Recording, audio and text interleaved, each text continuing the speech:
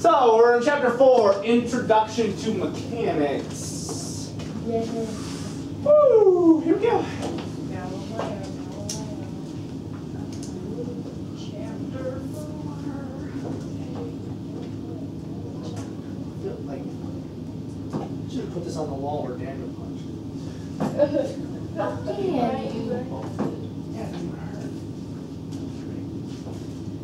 Got it?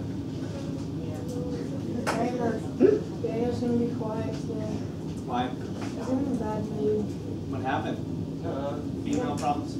Probably. He was in a good mood this morning when I was talking to him. Last Yeah, but like- was very- Yeah. Last period was, uh, What happened? I was talking to him. He just sat in the corner, didn't say anything. Just like ten minutes ago, he seemed pretty happy. Okay, well, we'll find think out. he's just sat around you, John. Wow. Yeah, Like you just. Johnny can be sad. Is that like water or I'm assuming that's Roman numeral one. What's gross? You do? Oh, we do that all the time. I do all the time while I'm talking, teaching. I probably, you probably have some of, you probably have some of my spit on your paper. Right. Maybe. Mr. Bishop's the worst. It's not like a whole Spit entire all ball. Uh, wow. It was pretty. That happened on my So, desk. Like, ugh. I've done that sometimes. That's the I stuff. once spit on someone's face. Ah, All the purpose? time. Yeah, Not on purpose, just, I talk so fast that boom, just comes out. Especially with the Netflix desk. I do too. I like to hear myself talk. I get so excited. It's great. Okay, mechanics. So, what do you think we're probably going to spend some time discussing in physics? Cars. Cars.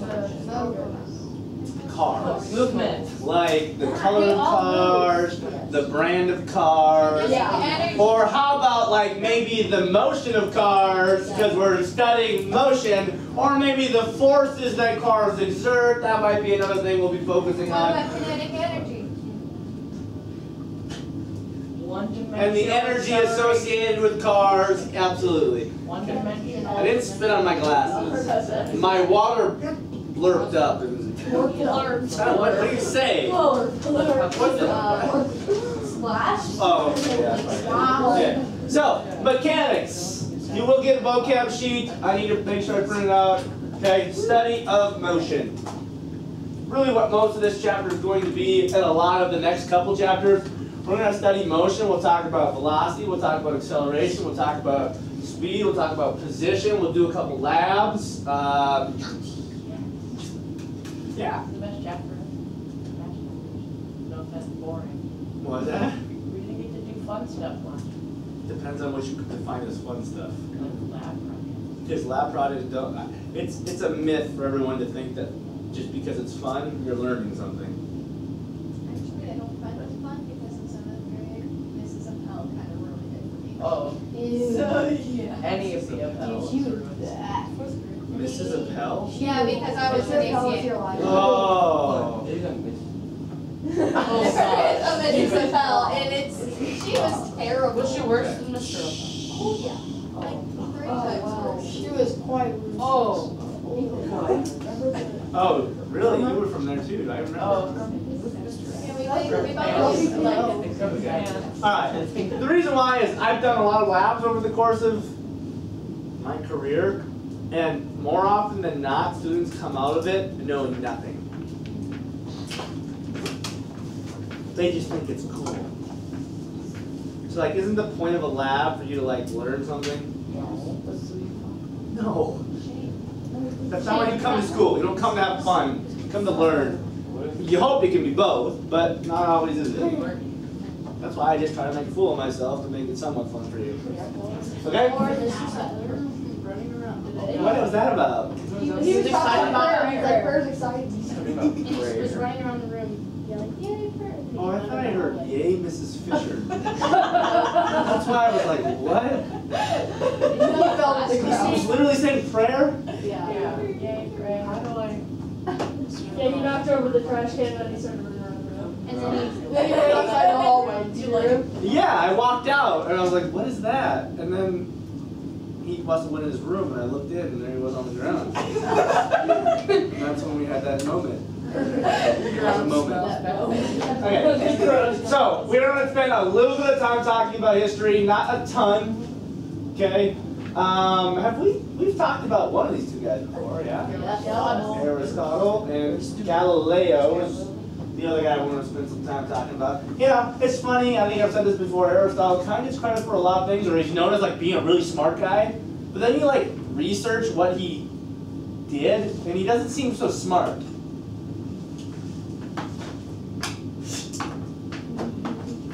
And I'll explain why on the next couple slides. It'll make sense. Okay? So Aristotle did some work in the area of physics, and, and he said that we must first understand why objects move before we can understand how objects move. Does that make a lot of sense to you? Can you find the why before you know a how?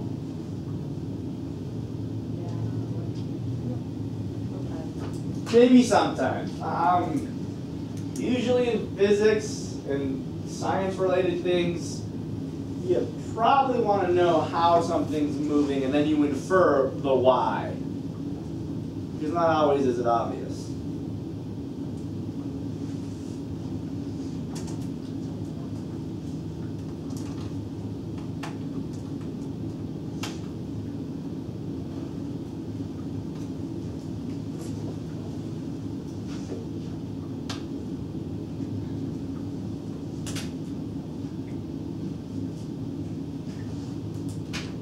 Got it?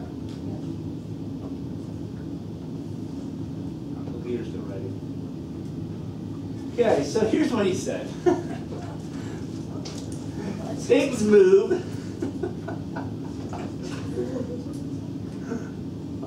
Oh, smart guy, huh? Things move because they desire to move. All right, I'm desiring to move right now.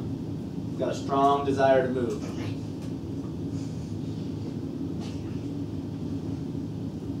Shoot. He's wrong. This is, this is even better. What? That makes so much sense. What in the world? That's what he said. Makes no sense. And then he said, yeah, it down just in case on a test question I say, Aristotle was an imbecile, he thought that, and then you can fill in the blank. Okay, I, I, I'm kind of a hater of Aristotle. He, he came up with some pretty cool stuff, but but this is not one of those things. So basically, he said, uh, he, so he was he was trying. So you can understand why he would come up with this because remember he's studying he's studying the why before the how. It's like so he sees a balloon rise, and he says, why does it rise? Right? He's not thinking how does it rise. He's thinking why does it rise? Oh, it just makes logical sense that if something's rising, it desires to rise. And then he takes a rock and he drops it. And he finds that the rock falls to the ground. He goes, Well, why? It's because the rock desires and has a love for the ground. But do you see how applying the how might be important in, before you try to figure out why something does what it does? Okay, well, he is kind of right on this. Objects do have a natural tendency, but believe it or not, objects' natural tendency is to do nothing. I find that ironic. Sounds like the human nature to me. Everybody hear what I said? An object's natural tendency is to do nothing.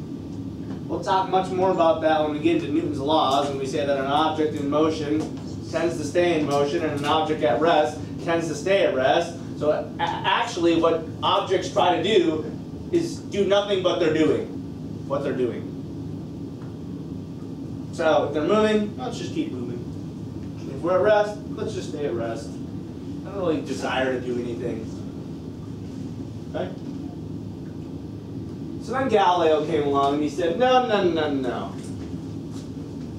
Mr. Aristotle, your time is up. We should study how things move first and then describe the why afterwards.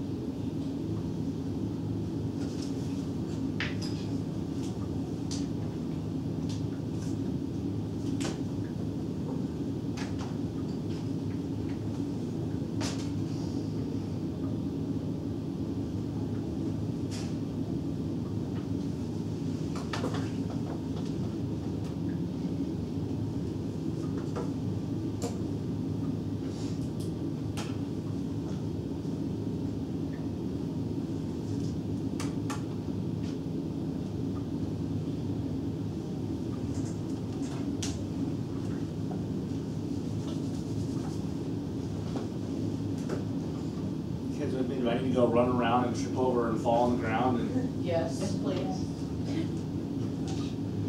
See, that's, that's humans' natural tendency. Natural tendency to want to do nothing, to want to do the easiest thing possible, to want to not to have any responsibilities. That's called sin.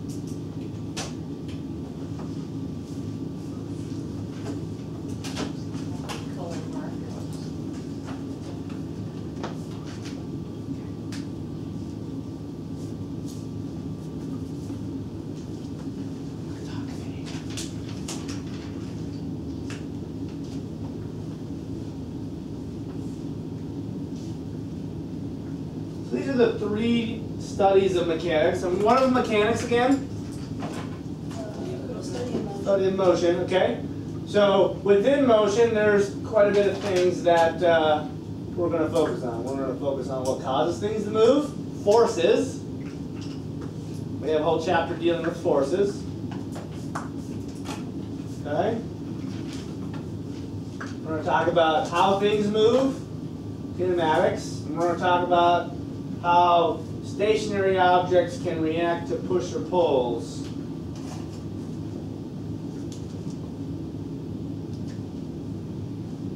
So the main topics for the next three months are going to be motion, forces, and energy.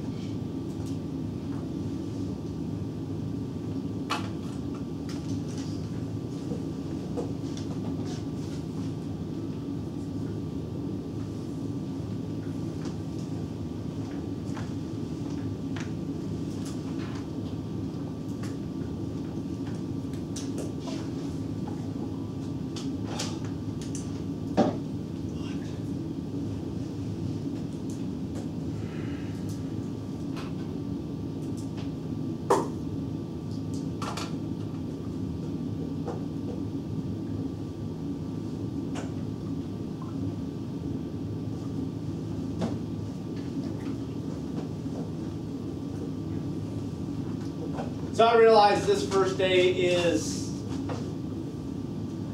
rather boring. Would you agree? A little bit boring. Not boring at all. Okay. Well, we kind of have to set the stage here a little bit before we get into um, the meat and potatoes, if you will, of, of, of motion. Okay. Um, I've learned as I've gotten older that vocabulary might be the most important thing in life. I mean, don't don't read into that too much. What I mean by that is, if you don't know words, if you don't know what words mean, like God desired to reveal Himself through what? Words. Like knowing and understanding words is very important in life. So if you don't know vocabulary words, you're going to be able to understand what the what a vocabulary word is going to be used for and how it's applied? No. Same thing in anything, whether it's English, whether it's Spanish. If you don't know what Spanish words mean, can you do anything in Spanish? If you don't know what science words mean, are you going to be able to be very successful in science? No. Okay, you guys should be able to answer this real quick.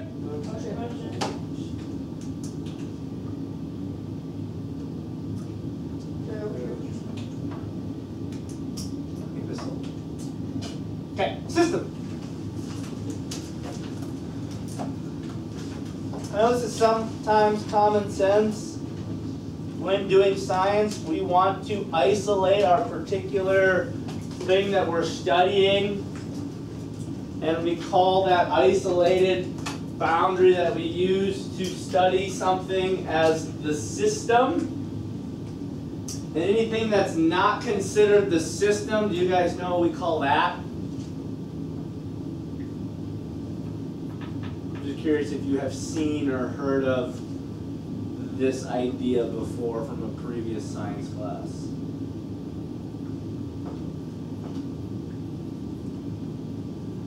It seems pretty common sense to this point, but you'll, as you get to a higher level science, you will come become more aware of why we isolate a particular thing. Yes? Because you looked, or did you know it? I've been reading. Good. Its surroundings. It kind of makes sense.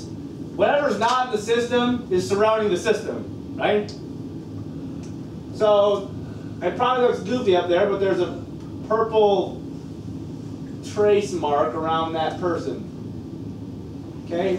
We're isolating him as the system. So let's say I wanted to study the motion of that guy moving and he trips. I'm focusing on his motion. I'm not worried about the person in the background kicking the soccer ball, am I? I'm not worried about the person on the swing. Does that does the person on the swing affect this guy's motion at all? No. Does this person reading affect that person falling or motion? Does the green grass have an effect? okay, they're allergic it, sure. okay? So anything that's not the system is what we would call the surrounding. So if I'm studying the motion of a ball dropping to the ground, I'm isolating the ball. I'm not worried about what you guys are doing. I'm not worried about what's happening outside the classroom. I'm not worried about the color of the ground. I'm not worried about the smell of food or coming from the cafeteria. Not worried about that.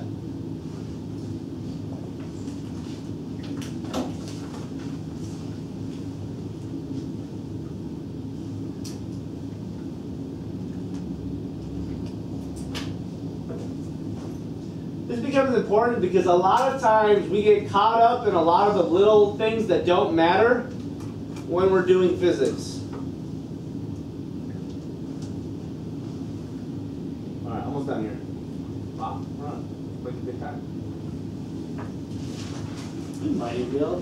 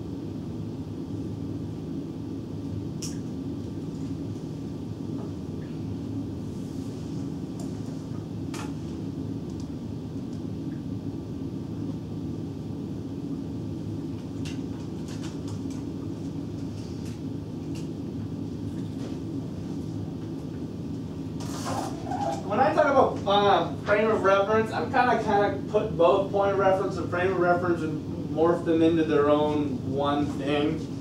Um, and believe it or not, there's quite a quite a few different reference frames that you can look at motion from, and we'll define them. I think on the next slide. Um, what? Nah, I think it might be two slides from now. What a point of reference is is some stationary location from which you can make an observation. So, stand up.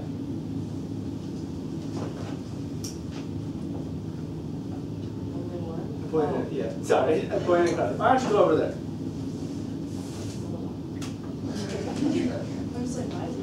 Okay. Um, I'm gonna walk towards her, um, and then I'm going to uh, change where she's located. Watch my motion. What does it appear that I'm doing? Moving toward her, okay? Come over here. Right here, right there. I'm gonna do the same motion. What does it appear that I'm doing? So where is it? Kind of a dumb little analogy, but where you are in reference to something moving plays a very important impact. For example, what if have you ever been in two different cars with somebody else and you were driving right next to each other at the same speed? What is it? Does it? How fast does it look like the other person in the other car is moving? Doesn't look like they're moving at all. If you're going the same speed as the other car, it almost looks like everything else is moving around you and, and the car itself isn't moving. That's a different type of reference frame. So what you choose as your reference frame is going to have a big impact on what the motion looks like. Yes? Okay? So a big part of being able to understand motion is choosing a correct reference frame. And you're going to find that you can choose whatever reference frame you want. So what this is saying is there's no the frame of reference. What that means is is there's no frame of reference that you absolutely have to use. There's some subjectivity to it. However, is there a is there a best frame of reference, do you think? Yes.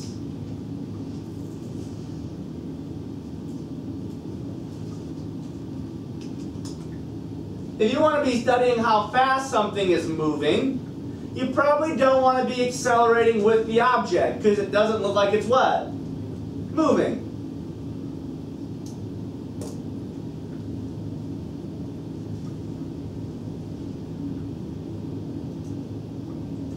Okay? And we're going to actually, where this becomes a really big deal when it comes to physics, is direction.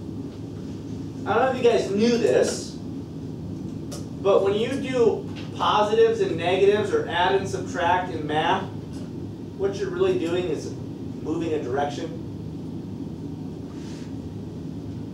Mind blown. When you subtract, what are you doing? You're moving left on a number line.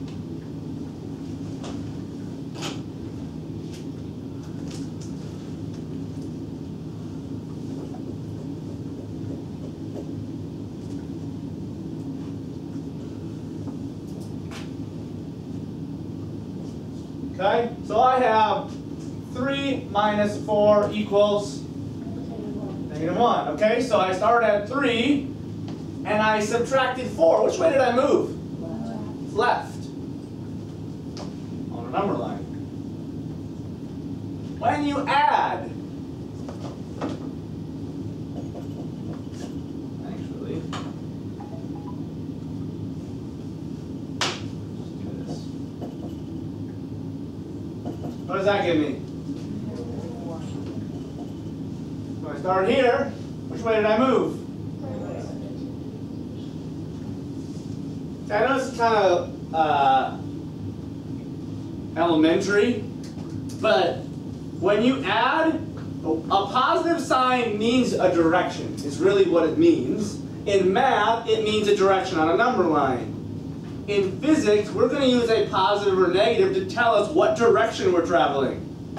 North is a positive direction. South is a negative direction. East is a positive direction. West is a negative direction. Hence, where we get our quadrants, this would be a plus plus, right? You guys remember this from like seventh grade math? What's this section? Isn't that west and south? Wouldn't those be both be negatives based on what I just told you? Okay? What about here? Plus negative, right? Negative because of south, positive because of okay? And so it becomes very important when you're doing physics. That's not just made up for some fun, fancy reason. It has a purpose because direction tells you the sign of something, or the sign tells you the direction of something. Uh, let me see if I want you to put this in. Hold up.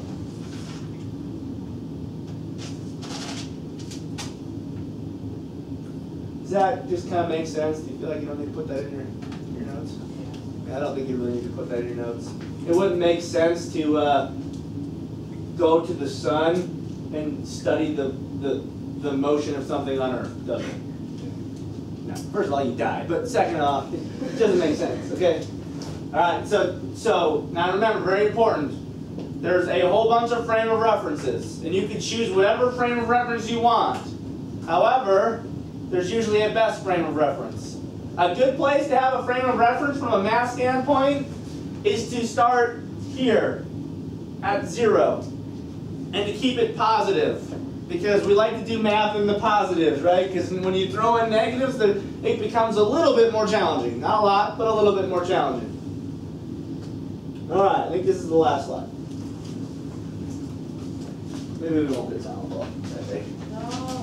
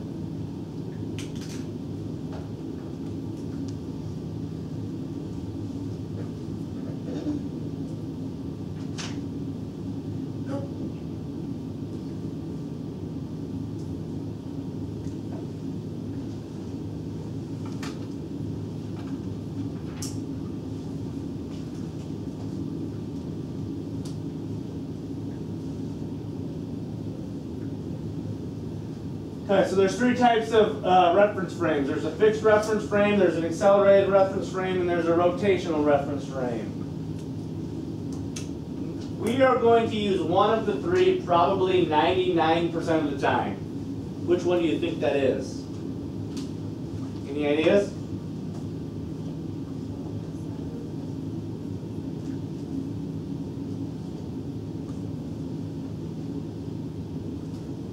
Couple people.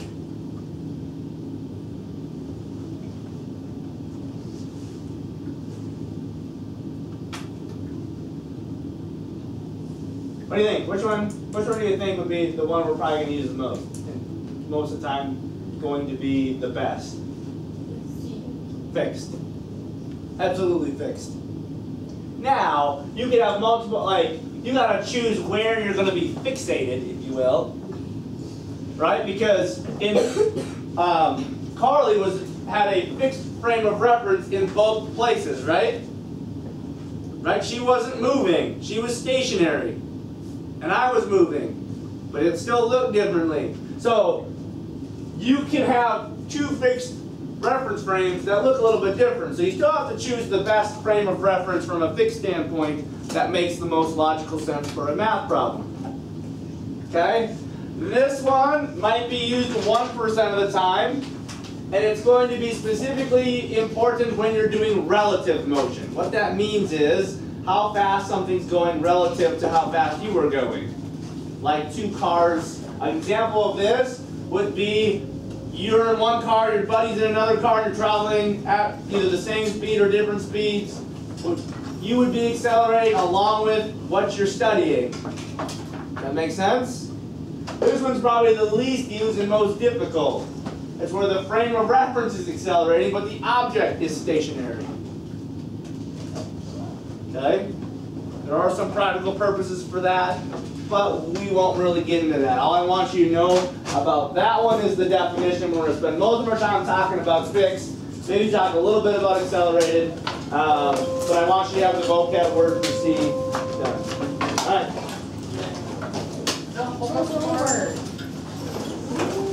You see that?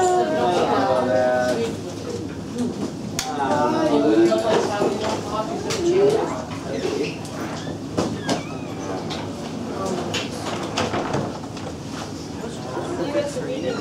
There you how dare you.